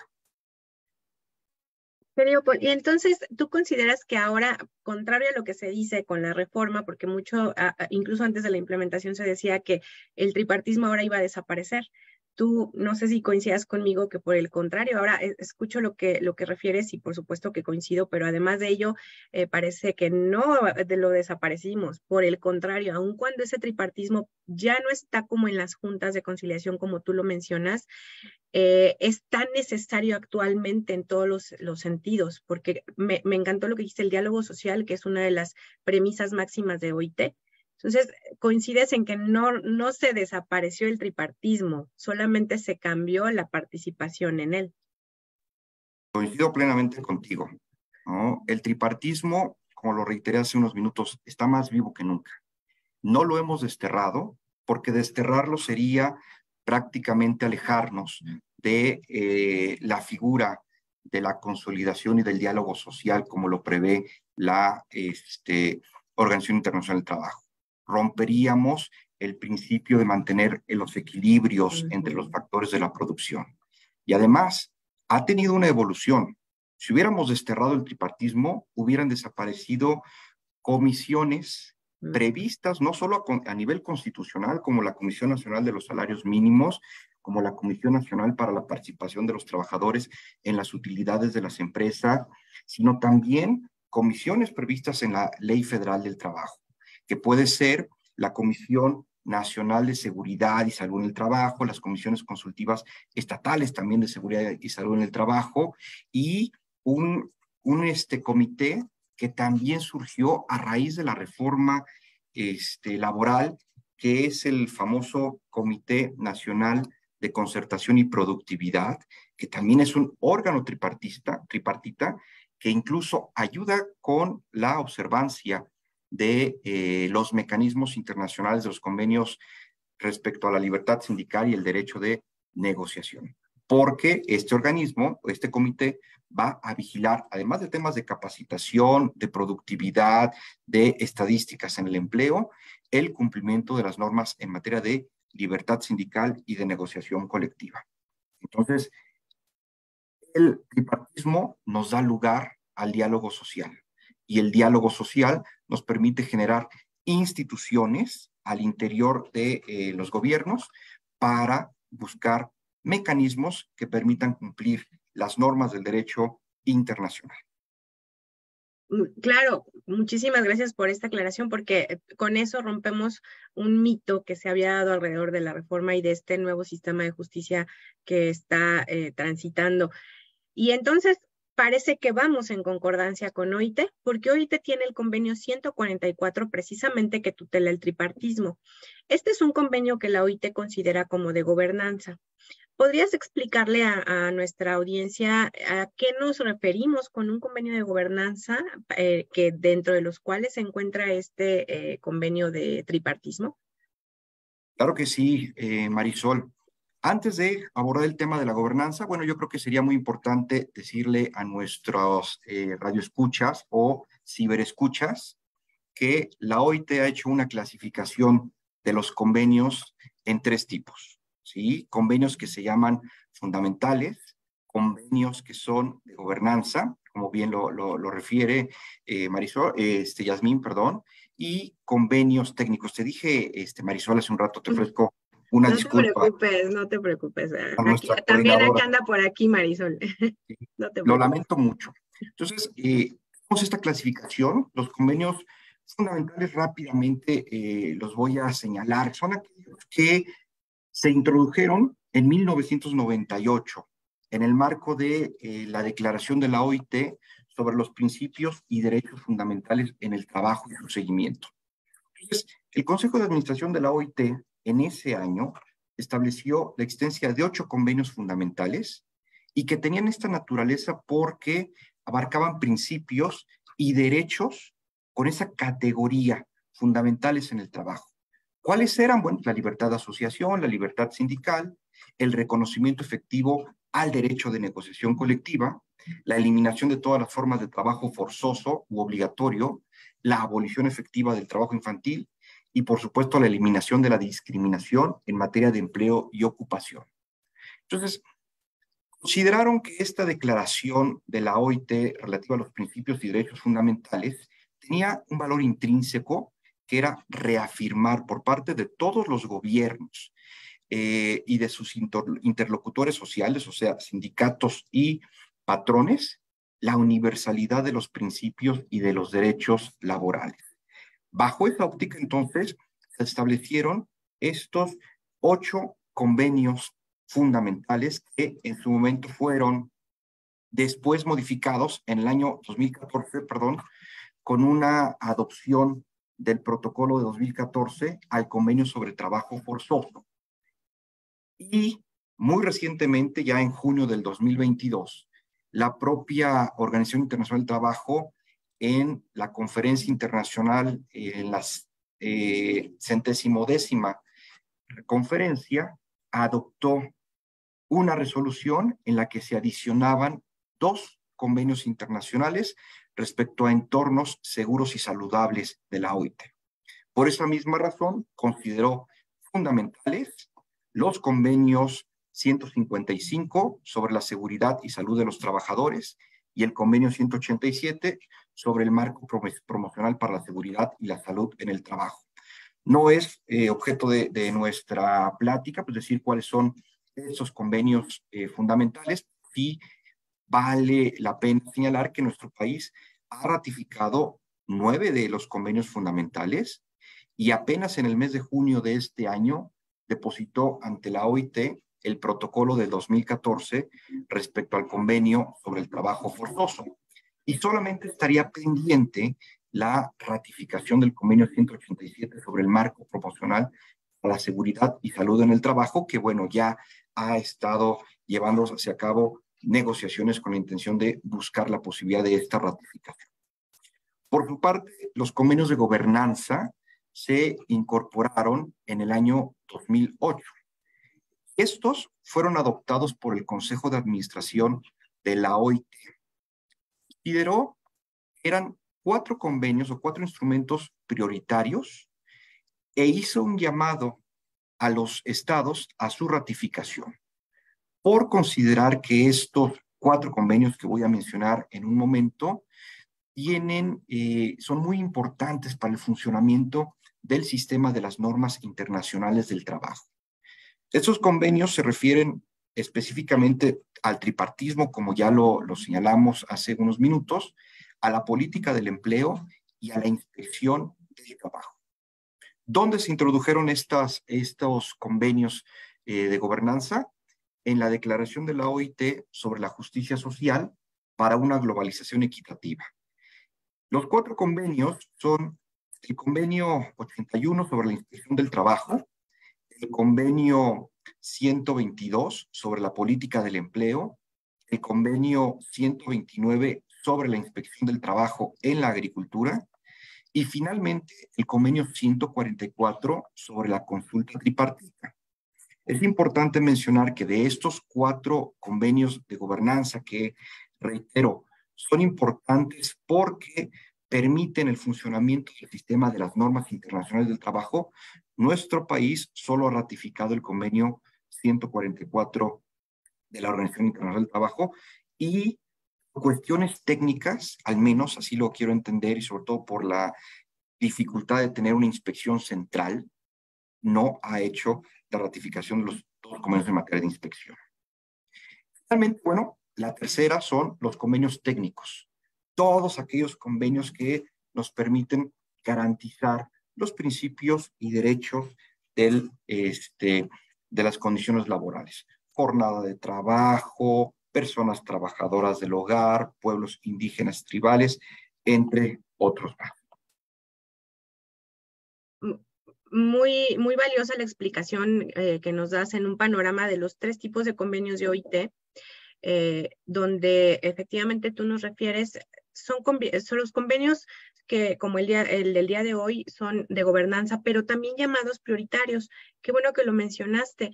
Eh, yo lo advierto, no sé si coincidas con eso, además de la importancia que tienen y de la prioridad de cumplimiento, también advierto que en todos estos cuatro convenios son eh, acciones que particularmente le corresponde a los estados. De ahí la denominación de gobernanza, porque efectivamente la consulta tripartita, el asegurar una inspección generalizada importante en cada estado, eh, y por supuesto la política de empleo son acciones que debe salvaguardar el Estado. No quiere decir que el resto de los derechos no lo sean, sino que estas son cosas que prácticamente le toca al Estado, a cada uno de los Estados miembros de OIT, llevar a cabo para su cumplimiento, no solo a los patrones, no solo a los empleados, sino que es directo la acción de los Estados. De ahí que eh, son eh, importantes. Y qué bueno que haces también este comentario respecto de que la inspección en el empleo se ha eh, dificultado en nuestro país también por sus particularidades. Ojalá en otro momento nos puedas acompañar para hablar un poquito sobre la inspección en el empleo y por qué a lo mejor OIT todavía no, no ha recibido la ratificación de México respecto a estos dos convenios de vital importancia. Eh, bien, entonces, en lo que corresponde al convenio 144 sobre la consulta tripartita, que es el que el día de hoy estamos abordando, eh, México lo tiene ratificado, es el único de gobernanza que tiene ratificado. ¿Qué dice este convenio? ¿Por qué es tan importante este convenio? Y realmente tú consideras que lo estamos llevando a cabo en su contenido? Fíjate, eh, Yasmin, que este convenio es muy noble. ¿Por qué? Lo señalaste hace unos minutos y fuiste muy puntual en el sentido de que los cuatro convenios prioritarios pues constituyen acciones que los estados tienen que ejecutar para poder eh, permitir que las normas internacionales del trabajo se puedan eh, encauzar directamente. Pero este convenio eh, lo catalogo como noble porque no requiere para los estados costos, no es gravoso, no requiere de formulismos, ni tampoco de mecanismos este, estrictos para su aplicación. Es un convenio que, en mi opinión, sí estamos llevando a cabo. Es un convenio inclusive eh, breve, solamente contiene 14 artículos. Y de estos 14 artículos, me parece que los más significativos, con independencia después de los artículos relativos a la formalización del convenio, a su ratificación y a, y a su depósito, nos permiten garantizar eminentemente mecanismos de comunicación eficaz entre los eh, sindicatos, entre los de patrones, entre los patrones, los trabajadores y, las y el propio gobierno. Este convenio señala, grosso modo, porque sí es muy importante que, lo destaque, eh, la conceptualización de organizaciones representativas de empleadores y de trabajadores. Lo tenemos en el artículo primero de este convenio y dice que son las organizaciones más representativas de empleadores y de trabajadores que gocen del derecho a la libertad sindical. El mismo convenio, del contenido del mismo, nos identifica que no es necesario que sean las organizaciones sindicales con el mayor número de trabajadores, de personas trabajadoras agremiadas. No. Basta con que sean las organizaciones con mayor representatividad, con mayor preocupación respecto al tema que se va a abordar, que puedan participar en estos mecanismos de este, comunicación. ¿Qué es lo que introduce o cuáles son los aspectos esenciales que podemos tener de este convenio 144? Bueno, pues en el artículo segundo establece procedimientos para garantizar la celebración de consultas efectivas. Y a pesar de que las introduce en el convenio, señala que serán los propios gobiernos los que definirán los mecanismos para llevar a cabo estos procedimientos de consulta. También en su artículo tercero, numeral 2, establece una igualdad en cuanto a la representación de las eh, organizaciones de trabajadores y de patrones.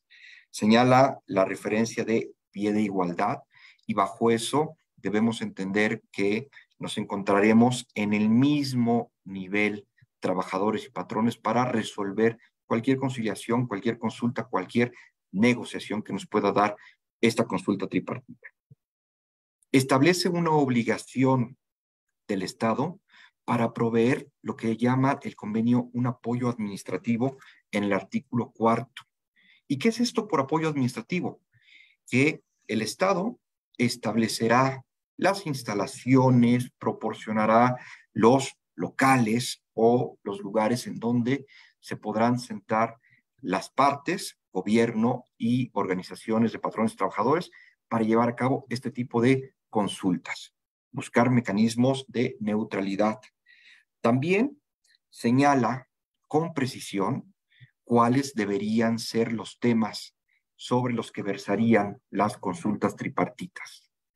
Esto se encuentra previsto en el artículo quinto del, convenio y prácticamente son cinco puntos muy importantes sobre los que deberán versar las consultas. Si me lo permites, voy a señalarlos. Primero, las consultas eh, tripartitas deberán versar sobre cualquier punto del orden del día que se vaya a atender en la conferencia internacional de la OIT. Entonces, siempre que se vaya a celebrar la, conferencia, el gobierno de cada estado, en este caso de nuestro país, tendrá que llevar a cabo consultas tripartitas con los empleadores y los trabajadores sobre los temas que van a ser objeto del orden del día de esta conferencia. Segundo, también deberán versar las consultas sobre la presentación o propuesta de nuevos convenios y recomendaciones que son adoptados por la Organización Internacional del Trabajo para que puedan ser adoptados por el gobierno. Se me ocurre, por ejemplo, el tema que se impulsó muchísimo sobre las personas trabajadoras del hogar, que tuviste en tu última plática extraordinaria este, sobre este convenio 189. Entonces, SINACTRAO que tuvo una participación muy interesante y que es una organización representativa. No significa que sea una organización con el mayor número de este. Era una organización representativa para velar por los intereses de estas personas trabajadoras del hogar. Entonces, las consultas tripartitas versarán también sobre las opiniones que tengan estas organizaciones de patrones y trabajadores respecto a la necesidad de adoptar convenios o recomendaciones. El tercer tema que debería versar en las consultas tripartitas es el examen de nuevos convenios no ratificados. Analizar las dificultades del por qué no se pueden ratificar, cuáles son las problemáticas a nivel legislativo que impiden este tipo de este, eh, adopción de convenios no nuevos, de los que, sino de aquellos que vayan o que ya hayan sido aprobados con, eh, en antaño por la propia Organización Internacional del Trabajo. Otro tema muy importante y en el que participa de manera activa, al menos en nuestro país, las organizaciones sindicales y de patrones, son en la elaboración de las memorias que se tienen que presentar ante la OIT respecto a los convenios ratificados. Y así podemos ver, por, por ejemplo, en, los, las memorias de los, este, de las propias, los informes, perdón, de la Comisión de Expertos en la aplicación de convenios y recomendaciones, cuando establecen las observaciones hechas por las organizaciones de patrones y trabajadores a la aplicación de los convenios este, 87, 98, por ejemplo, que son los que en la actualidad están siendo ya objeto de análisis. El próximo año vendrá ya el primer análisis sobre el convenio 189 también de la, OIT. Pero esas consultas tripartitas versan sobre la integración de información por parte de los estados. También la propuesta de denuncias a convenios ya ratificados. Identifican a través de esas consultas tripartitas el por qué debía de denunciarse un convenio para dejar de tener los efectos correspondientes.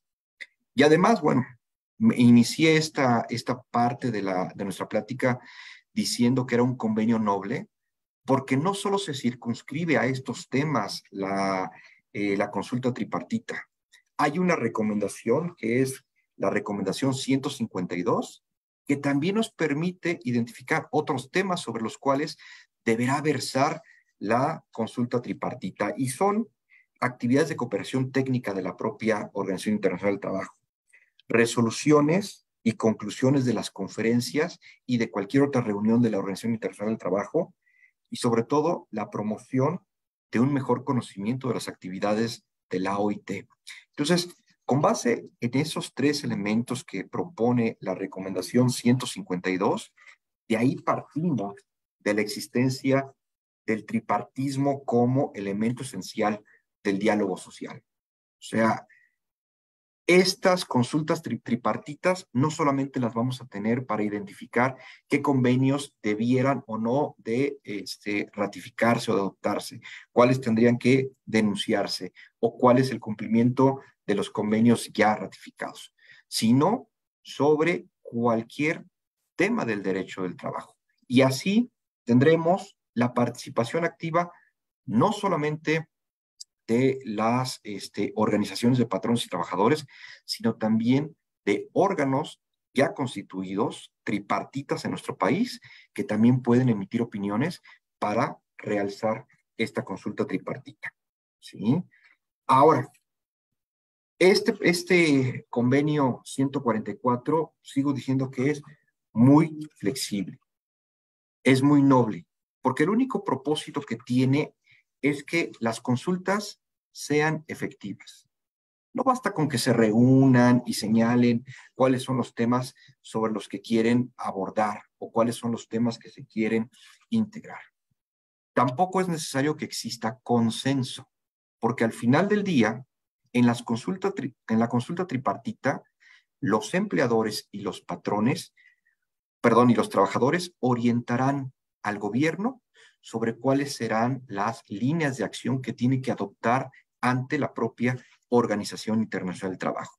Y entonces ahí nos referimos con el elemento de que las consultas tienen que ser efectivas por el hecho de que ayudan a los gobiernos a adoptar las mejores acciones y estrategias para poder cumplir con las normas internacionales. Eh, el convenio establece una periodicidad de las reuniones de estas consultas.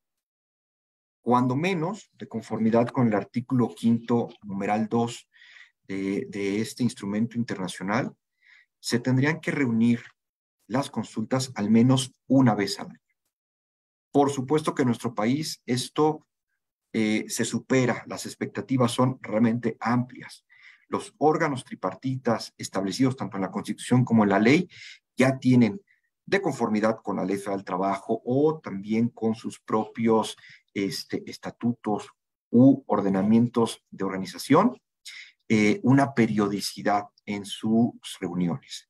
Basta señalar, por ejemplo, este Comité Nacional de Concertación y Productividad, que se debe de reunir al menos una vez cada bimestre, lo que significa ese dinamismo que tienen hoy esas organizaciones eh, sindicales de tanto de trabajadores como de patrones, como para poder resolver controversias, reitero, sobre capacitación, productividad, estadísticas, empleo y también sobre libertad y negociación colectiva.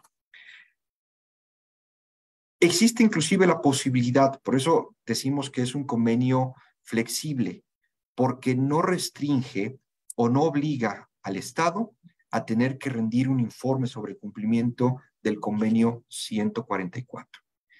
El convenio señala en el artículo 6 la posibilidad de que si así lo deciden por consenso los patrones, los trabajadores y el gobierno, se pueda enviar una eh, memoria a la propia Organización Internacional del Trabajo. Pero de no ser así, no se estaría transgrediendo con el contenido de la, este, de la propia norma internacional. Entonces, es muy flexible, es muy interesante porque además permite que al interior de cada gobierno, patrones, trabajadores y el propio Estado puedan fijar, discúlpame la expresión, las reglas del juego sobre las cuales van a versar estas consultas tripartitas. Y también es muy importante eh, considerar, Marisol, en la actualidad, la propia OIT ha buscado llevar a cabo un procedimiento para una ratificación eh, global de este convenio 144, por la propia posibilidad de a través de estos, de estos mecanismos de comunicación se puedan llevar a cabo negociaciones exitosas. Quiero señalar, eh, bueno, desafortunadamente, el proceso de ratificación de las normas internacionales no es tan rápido o con tanta celeridad como, como nos gustaría. En 2018, la OIT inició esta campaña de promoción de la ratificación del convenio 144. Para ese año existían 144 países que habían ratificado el convenio de un total de 187. Pero ya estamos hablando de eh, cinco años después de esta, de esta campaña, del inicio de esta, y se ha ratificado por 12 países más. Entonces, al mes de septiembre de 2023, el convenio ha sido ratificado por 156, lo que significa que ya estaríamos cerca del 80% o hemos superado ya el 80% de eh, gobiernos que eh, han ratificado el convenio 144. Entonces, creo que sí es muy importante que el convenio 144, al menos en nuestro país, estimo que el convenio 144 está vigente, es llevado a cabo. Hay muchísimas acciones que se han este, materializado a raíz de este convenio 144, debido a la flexibilidad que eh, impera en su aplicación. Y además, reitero, el procedimiento de consulta no está ceñido a una caja, no es totalmente inflexible. En cualquier momento, debido a que es el propio Estado el que fija las reglas del juego, puede modificar en todo momento los mecanismos de consulta tripartita, pero siempre garantizando que éstas sean eficaces. No, muchísimas gracias, Paul, porque realmente nos, nos das un panorama importante de manera muy clara y digerible para la audiencia que no, que puede ser no eh, experta en normas jurídicas o incluso internacionales, de lo que implica este convenio, porque prácticamente es un convenio que facilita eh, la de toma de decisiones desde una perspectiva integral, como se ha hecho siempre. Es decir, ahorita que escuchaba yo tu explicación, recordé que prácticamente nuestro sistema de justicia laboral de origen desde 1917 fue basado en esta toma de decisión de tres sectores, ¿no? Donde todavía no teníamos ni siquiera una norma ya escrita en muchos estados y de manera fáctica las autoridades comenzaron a resolver porque era la mejor manera, la manera más rápida, aunque sin, sin un marco jurídico, pero era la manera en la que podían resolver el conflicto de, ese momento que se daba en muchas industrias. Se sentaban en la mesa los eh, patrones, trabajadores y el gobierno para dar una guía de cómo resolver ese conflicto y finalmente así se llevó a cabo y de ahí nació el tripartismo. Este tripartismo tan importante que eh, para muchos ha trascendido a nivel internacional, incluso doctrinarios nuestros afirman que fue México el que eh, hizo que influyera la Organización Internacional del Trabajo para su conformación tripartita. Y es, como dices tú, es un convenio muy, muy eh, noble porque efectivamente nos permite aplicar desde el ámbito internacional, es decir, prevé para toda la decisión internacional dentro de esta organización, pero también está aperturado para que lo podamos hacer en el derecho doméstico y en los conflictos nacionales de cada uno de los estados. Es, es, un, eh, es un convenio que a la luz de esta eh, de, esta, de esta ratificación permite perfectamente conservar incluso las instituciones que tutelan este, este tripartismo y que ahora que nos explicas a detalle, efectivamente coincido contigo que México va caminando en el, en el cumplimiento de este convenio, que lo ha hecho incluso, pero que sigue haciéndolo aún cuando la autoridad que resuelve ya los conflictos no está integrada de esa manera, pero no quiere decir que no esté inmerso. Y escuchaba yo también la temporalidad, pues nuestras comisiones también han cumplido con la temporalidad de la norma en llevar a cabo sus reuniones periódicas, en la toma de decisiones.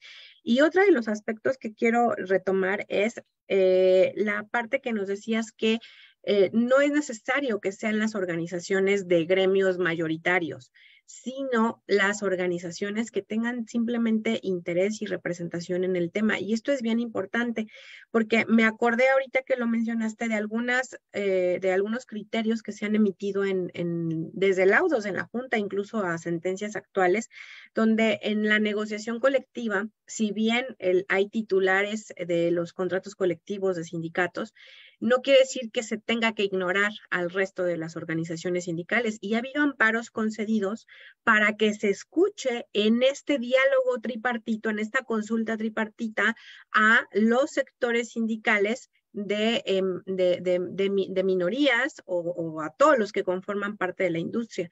Entonces, es un convenio eh, bastante noble que además dijiste algo bien importante, rompe el paradigma del derecho internacional del trabajo en lo que toca a los medios de control de normas, es decir, a la obliga en, prácticamente casi todos los convenios existe una obligación de los estados de informarle a OIT lo que está ocurriendo.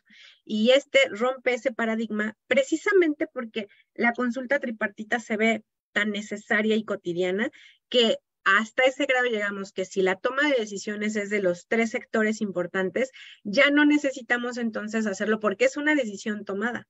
Entonces, por estos tres sectores. Entonces, advierto que la consulta tripartita, tripartita es prácticamente la manera de tomar decisiones donde interfieren todos los involucrados, que en este caso pues, son los tres sectores del derecho del trabajo. Eh, en este sentido, yo, eh, bueno, antes de que continúe, quiero decirte que hay personas que están mandándote saludos, que están eh, hablando de lo, grato que es escuchar tu explicación. Por ejemplo, aquí nos dice Jair RJ, te manda saludos, saludos al profesor Paul Ortiz Arámbula eh, y algunos compañeros más que nos están escuchando en, vivo. Te mandan muchísimas felicitaciones y saludos. Y bueno, entonces, tú en el ámbito de la consulta tripartita, en tu, en tu labor cotidiana, ¿has visto que este eh, convenio se vea aplicado en, algunos de los aspectos que te toca hacer o que te ha tocado a ti en las funciones que has realizado en la Secretaría del Trabajo Local, en las juntas? ¿Cómo has visto que este convenio ha impactado en lo que has llevado a cabo tanto en el sistema anterior como en el actual? Porque ya vimos desde el internacional que el, contenido y prácticamente para hoy te vamos caminando bien, pero en México, tú que nos puedes compartir una experiencia diaria desde las instituciones que se encargan de llevar a cabo estas acciones, ¿qué le puedes compartir a los, a los eh, alumnos o a la audiencia que nos está escuchando de lo que en día a día puedes observar en cumplimiento este convenio? Mira, me has hecho eh, que tenga una remembranza precisamente a la impartición de justicia laboral en las juntas de conciliación y arbitraje, ¿no?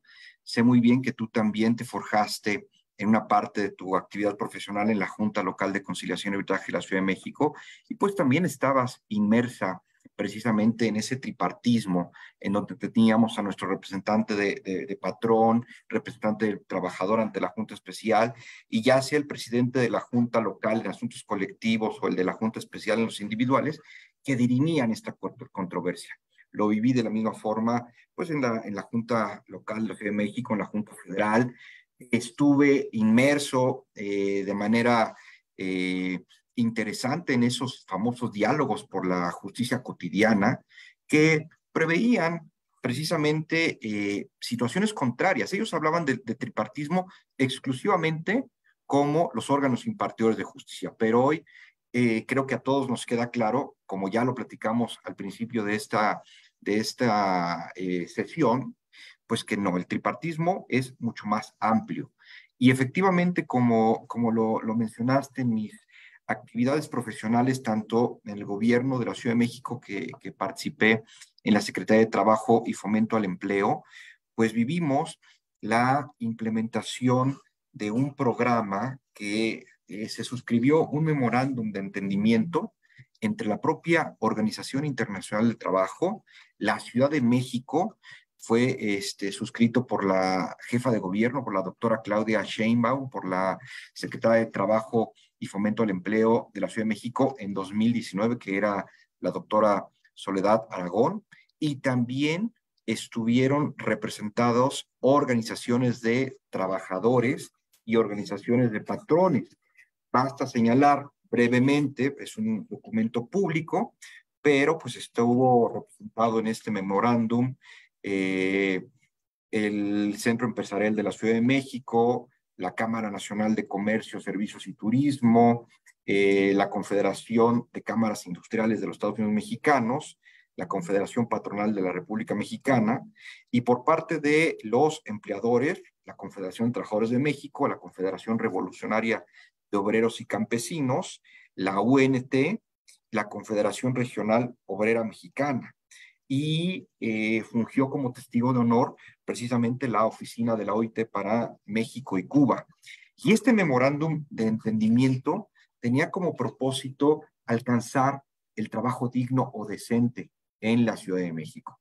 Entonces, se celebraron desde el año 2019 reuniones mensuales entre empleadores, trabajadores y el gobierno con la intención de llevar a cabo eh, la promoción del empleo y el trabajo decente, el impulsar empleos verdes, que también son acciones muy importantes que ha este, impulsado el gobierno de la Ciudad de México.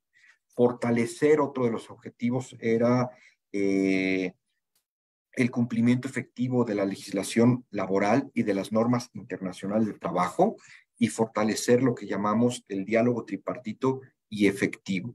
Entonces, estas reuniones que se celebraron incluso durante la emergencia sanitaria, porque como todo derecho del trabajo, nuestro derecho laboral nunca, nunca paró, a través de todos los mecanismos que tiene el Estado para vigilar el cumplimiento de las normas de derecho laboral, ¿no? Inclusive, bueno, tenemos por supuesto a la inspección laboral.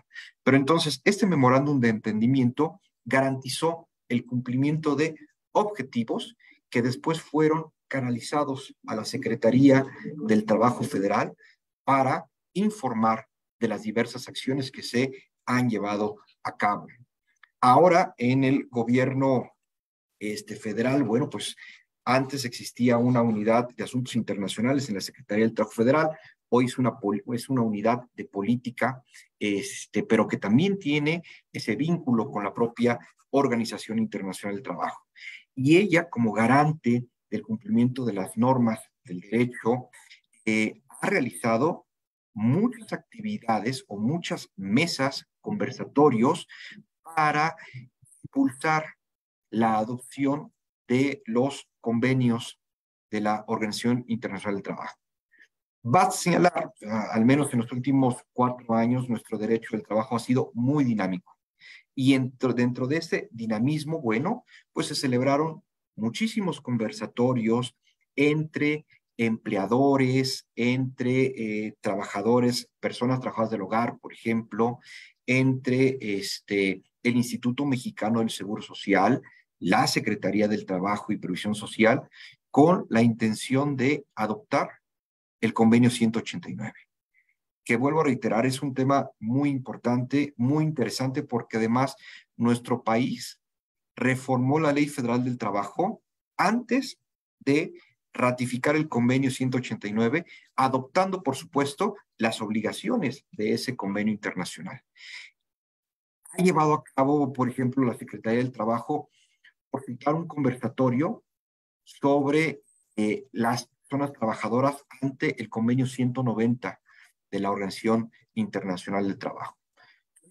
Conversatorios en donde eh, un grupo de mujeres sindicalistas, por ejemplo, han participado para sumar a las acciones necesarias al cumplimiento de este convenio 190.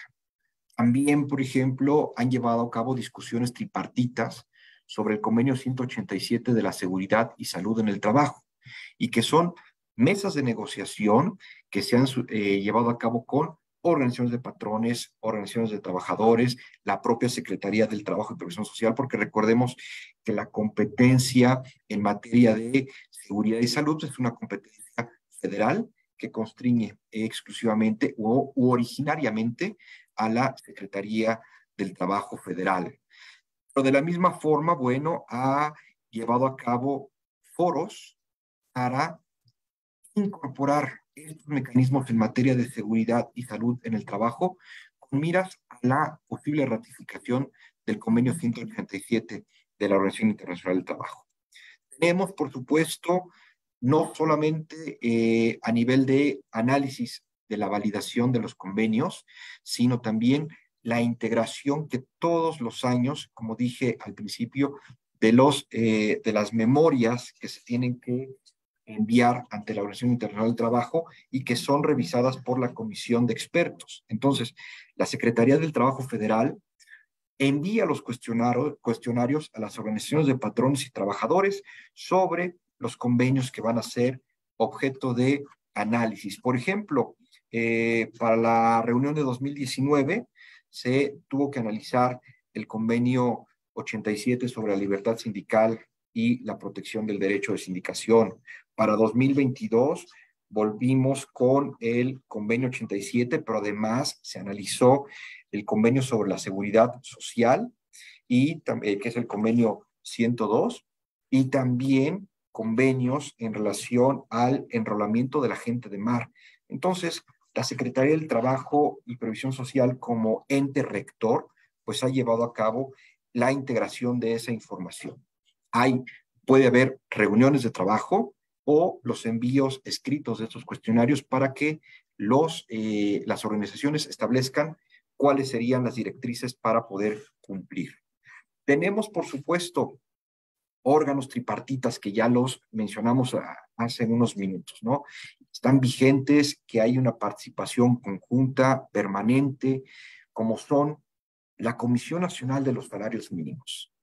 O sea, si no tuviéramos a un Consejo de Representantes, difícilmente pudiéramos haber cumplido las obligaciones que establecía el convenio 189 para fijar a las personas trabajadoras del hogar un salario mínimo profesional.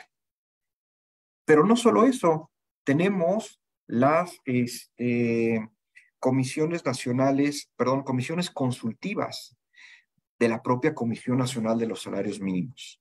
Y una de sus atribuciones, que recordemos, este es un órgano tripartita también, la Comisión Nacional de los Salarios Mínimos. Y estas comisiones consultivas también son tripartitas, tienen esta naturaleza. Una de sus funciones estas comisiones consultivas es solicitar las opiniones de las organizaciones, organizaciones de los trabajadores y de los patrones y en general de cualquier entidad pública o privada respecto a la posibilidad de incrementar los salarios mínimos, ya sea a través de la fijación anual o de la revisión que de manera extraordinaria puedan solicitar en el transcurso del año. Tenemos, y, esto ya pareciera comercial, pero en 2019 con la reforma de la Ley del Trabajo se crea la Comisión Nacional de Concertación y Productividad. Órgano tripartita también, pero que además, en virtud del tema de la capacitación y de la productividad, incluye dentro de sus este, integrantes a la academia. Y esta comisión se eh, estableció formalmente ya, está funcionando desde el año 2022. Esta comisión, pues no solamente se integra por la Secretaría del Trabajo y Previsión Social, se integra por la Secretaría de Economía, por la Secretaría de Gobernación, por la Secretaría de Medio Ambiente, por el Instituto Mexicano del Seguro Social, sino también, perdón, estoy hablando de la Comisión Nacional de Seguridad y Salud en el Trabajo, ¿no? Que es otra comisión muy importante para vigilar eventualmente el cumplimiento de las normas en materia de seguridad y salud en el trabajo. Pero me refería al tema de la comisión del Comité Nacional de Concertación y Productividad. Se integra por la Secretaría del Trabajo, la Secretaría de Economía y también por sendos integrantes de patrones y trabajadores debidamente representados y que uno de los temas más importantes que eh, son objeto de estudio permanente es, reitero, el relativo a los procedimientos de, legitimación, a los procedimientos ahora de aprobación de los contratos colectivos este, iniciales y la preocupación que conlleva a estas organizaciones sindicales el hecho de que se tengan que llevar a cabo consultas efectivas en materia de voto libre, directo y secreto. Hoy, ya lo ha dicho el Centro Federal de Conciliación y Registro Laboral, tenemos un número de cerca de, un poco más de 30 mil contratos colectivos legitimados y la preocupación toral de las organizaciones sindicales es dejemos a un lado la legitimación y vamos ahora a buscar mecanismos de consenso en las aprobaciones de los convenios. Entonces, sí tenemos una intervención muy interesante o el gobierno tiene una participación muy interesante, ha permitido y ha permeado que las consultas o la consulta tripartita, como lo establece el convenio 144, se preserve y se consolide. Y esta consolidación garantiza eminentemente la continuidad en el consenso y el diálogo social. Hay que recordar este, que uno de los principios de la OIT, de la Ley del Trabajo, es garantizar el trabajo digno o decente.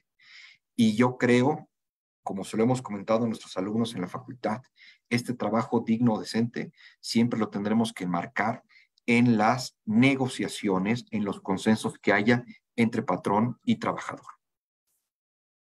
Muchísimas gracias de verdad por esta explicación, porque nos permite tener el panorama de que cómo es que no solamente hay una norma internacional por ahí que en años atrás se veían como muy lejanas, pero realmente eh, cuando tú nos hablas de todas estas acciones, nos permiten observar que esas normas que aparecían lejanas hace unos años siempre han sido el referente de, camino y ha sido sobre lo que ha actuado eh, de inicio, por supuesto, las autoridades gubernamentales, pero también de la mano con los sectores involucrados. El tripartismo es lo que tutela, eh, la intervención de trabajadores ah, representados por sus sindicatos y de los patrones también por sus respectivas organizaciones. Y no me queda más que agradecerte la eh, tan explícita eh, aclaración que nos haces de todos estos temas, la explicación maravillosa, digerible, sencilla. Eh, en verdad te lo agradecemos mucho. Aquí te siguen mandando saludos. sospecho que son tus alumnos porque dice aquí Oscar, Oscar Beade que le envía saludos a su profesor y que es una excelente ponencia, con lo cual evidentemente coincido. El tiempo nos, se nos fue muy rápido, de verdad te, te, agradezco mucho esta bonita explicación. Y Eh, te voy a eh, hacer lectura eh, de, la constancia que este colegio de profesores emite para ti por agradecimiento a la participación y refiere, el colegio de profesores de Derecho del Trabajo de la Universidad Nacional Autónoma de México otorga el presente, la presente constancia al especialista en Derecho Paul Rodolfo Ortiz Arámbula por su sobresaliente conferencia en la sesión de Justicia y Paz Sociales, Derecho Internacional del Trabajo, correspondiente a su quinta temporada en la versión digital. Ciudad, de México, Ciudad Universitaria, Ciudad de México, por mi raza hablará el espíritu, el día de hoy, 4 de octubre de 2023, y se encuentra firmada por el doctor Enrique Larios, que es nuestro presidente del colegio. Estimado Paul, te lo agradezco muchísimo que hayas aceptado. Ha sido verdaderamente eh, muy clara tu explicación, muy valiosa para la audiencia, lo veo en los comentarios que están señalando y eh, ojalá podamos contar nuevamente con tu participación si tu agenda sí lo permite. Muchísimas gracias, Yasmín. Es un gusto haber platicado contigo esta hora rapidísima.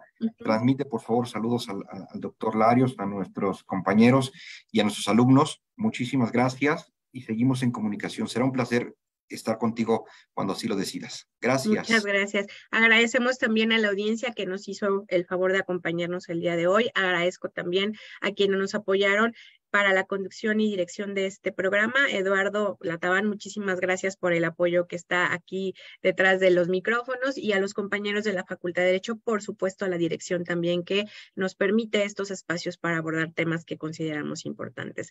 Agradecemos mucho a todos y que tengan muy bonita noche. Nos vemos en la siguiente sesión.